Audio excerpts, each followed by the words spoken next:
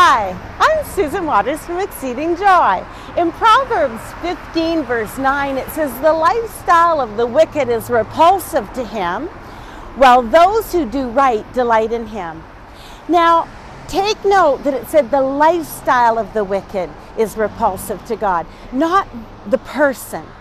And it's so important that we understand that God separates people from their behavior. He loves everyone, no matter what they're doing, no matter what they believe, no matter how bad their situation is that they're involved in, God loves the person. He always wants to reach out and and heal, draw them to himself, save them.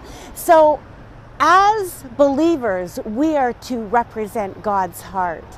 And by representing his heart means that we are to love all people, regardless of what's going on, regardless of what they're doing.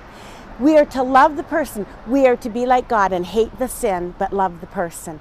It's love that will draw people to the Lord Jesus Christ.